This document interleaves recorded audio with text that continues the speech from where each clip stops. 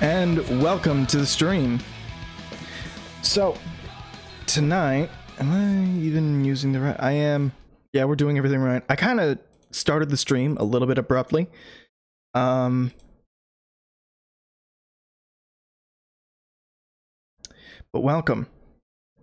We're actually going to be talking about something new. H- uh, hello, I'm on camera now. um, I felt like it was more appropriate to talk about this on camera. So today, I went and pre-ordered myself a Switch Lite. Uh, I was in the area, you know, I, I did some some banking. I got some sushi in front of me. I'm eating the crumbs, but I did some banking. Got a new card. Got a replacement credit card and all that. Speaking of which, I'm gonna put this in my wallet before you guys um, can see it and take the the three wacky digits on the back. So I'm gonna put this away before it, it shows up on camera somehow. There we go. Oop, bumped the mic. Sorry. There we go.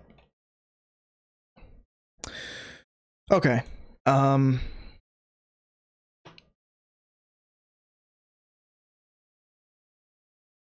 And that's better. That, that just looks nicer. Barely. I mean, everything's fucking overexposed to hell and back, but yeah, it looks fine. Nice face you got there. thank you, thank you, Sudo. But yeah, so I got to hold the Switch Lite for a few minutes, or not a few minutes, for maybe about 10 seconds. And, um, you know, the buttons felt nice. They felt nicer than the Joy-Cons, honestly. The Joy-Cons are a little bit too clicky, if I'm being perfectly honest. Um, but the Switch Lite felt more like it, um, it felt more like holding it like a classic DS. The buttons did. The, um, the triggers and the shoulder buttons felt more like the Pro controllers. Um, the sticks were the only ones that were like, eh, this isn't very good, but whatever. It's fine. the sticks are the sticks, it's fine. It's it's still not pocketable unless you have massive pockets. So that's annoying. Um Oh, I haven't turned off the TV. Hang on. I'm going to turn off the TV.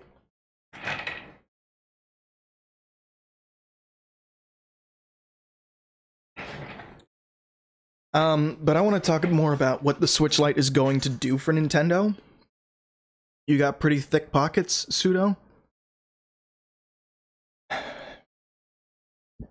That could mean anything. So, thank you for that kappa. That was real good. Um, I think the Switch Lite is kind of signifying. I think I said this before on stream, but um, I think the Switch Lite is signifying that they're moving the Switch into the portable category. Um, the Switch is very clearly going to be the successor to the 3DS, and that also means that it's not necessarily the successor to the Wii U. Right now, it's the successor to the Wii U and the 3DS, but in the future, it's only going to be the, the successor to the 3DS because it's going to more or less phase itself out of the console space. And what I mean by that is because th- they're going to be using the Switch Lite more in marketing material. I just know it. They're going to be using it more when they're advertising new Pokemon games or Mario games or whatever. You're going to be seeing people using the OG Switch less and less. The newer Switch is going to sell like hotcakes. It's $200, 250 where I am. Like the Switch in Canada is $400. The Switch Lite is $250. That's a $250 saving right there. It's not only $50 less in Canada. So it's also no, it's $100 less. The Switch still costs like $300 in the US. It's only $50 less where you where you're at. I don't know. I thought I thought the Switch still costs uh, $300, but it is it is cheaper and it is a more kid-friendly system. Um, but the biggest thing, the biggest reason why they're going to phase out is because you, it's not going to be able to keep up with the newer systems that are coming out. It's not. There's no way in hell. The new systems have like instant loading times, ray tracing technology, new hardware that you can't even get yet. They're going to sell at a major loss. Like, Nintendo's going to have to release some kind of Switch Pro just to keep the thing relevant. And I don't know if they want to do that. I think they might just want to make a new system. As weird as it sounds, I think we're going to see the next generation of Switch very soon. But that also means that to keep people happy, the Switch can't go obsolete quite yet. You prefer your OG Switch? Here's the thing the OG Switch is probably going to become. The OG Switch and the Switch Lite are probably going to become like the 3DS line. And then Nintendo, when the next generation happens, maybe a year into the generation, Nintendo is going to have their new Switch or whatever with Breath of the Wild 2 coming out on it, Mario Odyssey 2, whatever the hell's on it. And that thing might be another Switch. You know, it might straight up be Switch 2 for all I know.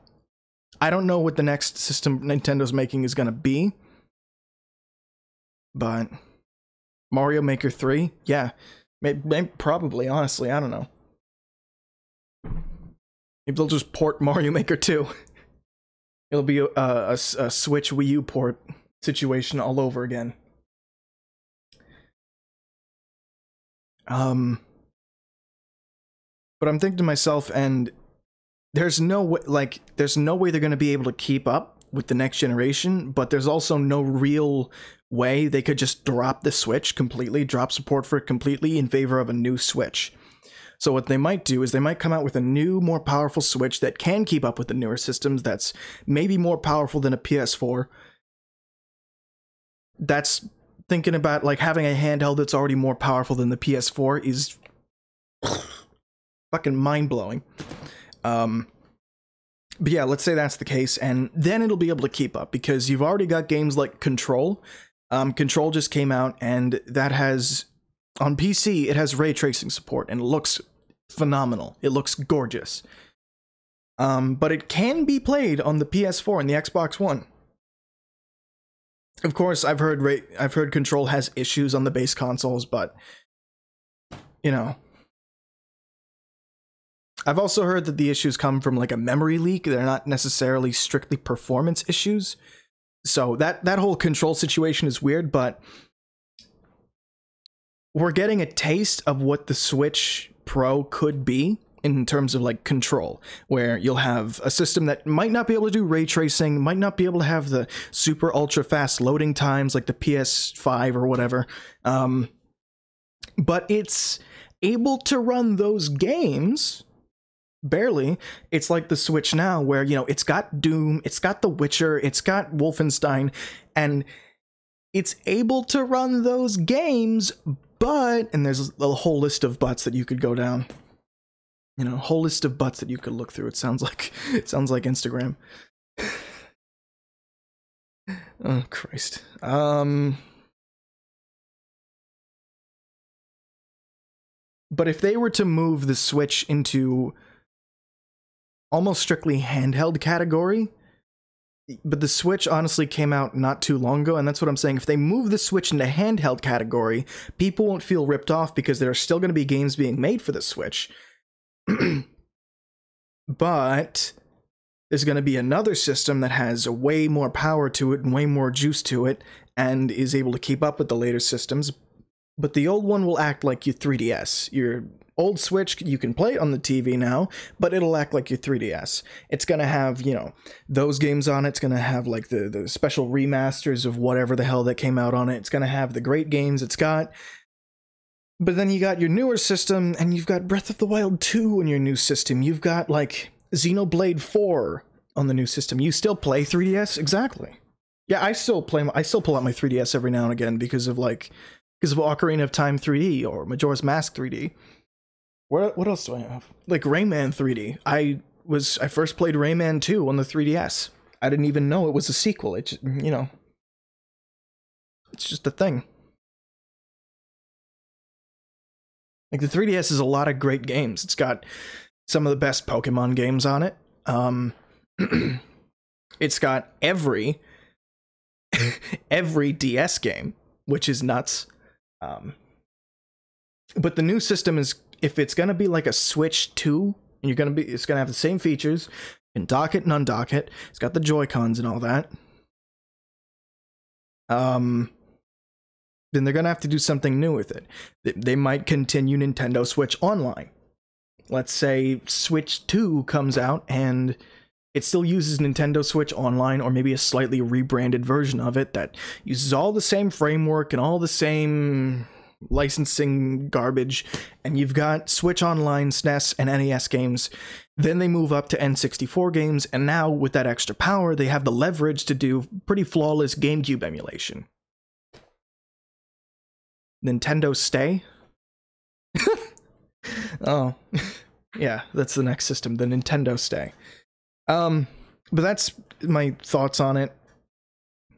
Honestly, I think the Switch is going to move into the 3DS category, you know, or 3DS type category where it fits squarely into that Game Boy line, the Game Boy, Game Boy Color, Game Boy Advance, DS, 3DS. It fits into that family nicely after a while, even though right now it seems to be fitting into the family of the NES, SNES, GameCube, Wii, Wii U, all that.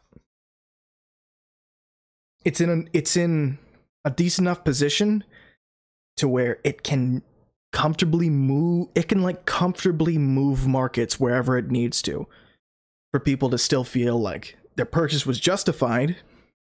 Mm, yeah. I think the switch will eventually turn into it will die but i hope but i wasn't hoping so soon. It's inevitable i think.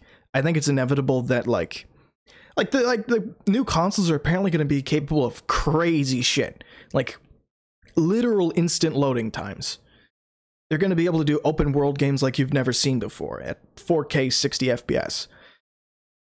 This anemic little handheld can't keep up, and there's no way Nintendo is going to be content just making handheld games. And then making handheld versions of PS4 games. That's not that's not good enough, I think, for Nintendo. As good as like a massive Breath of the Wild 2 could be, it's not enough. Um, and I think a lot of the improvements that could make Breath of like games like Breath of the Wild 2 better, Mario Odyssey 2 better, they could be like technical improvements. Um who knows? And again, it's possible that the Switch as it stands right now just does not have the power to run stuff like like GameCube games. So they'd have to continue this virtu- this virtual console, as I'm just going to keep calling it, branding the Nintendo Switch Online to the next console, Mario Caribbean.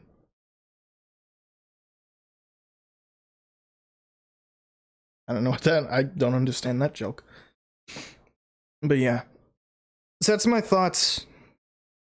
I hope the next system won't completely make the Switch obsolete and it'll just sort of squarely move the Switch and that library of games into the handheld market rather than hybrid market. And you might not be able to you might not be able to not upgrade, but for people who bought a Switch at launch, you won't be too ripped off because you're still getting your use out of it and you're still getting a decent number of games and you know you've got fucking uh, an unbelievable library of games right now. Fucking Breath of the Wild, Mario, Witcher, Doom, Doom Eternal, uh, The Outer World. Like there's just so so many massive games. Yeah, NES games. Everybody loves NES games. Ah, oh, they're just the the greatest. It's just the best example of top tier game design ever. I, I I love my NES games so dearly. I jerk off with an NES controller shaped fleshlight every night. I love I love NES. Okay. I'm gonna move on before I keep rambling too much. Um yeah.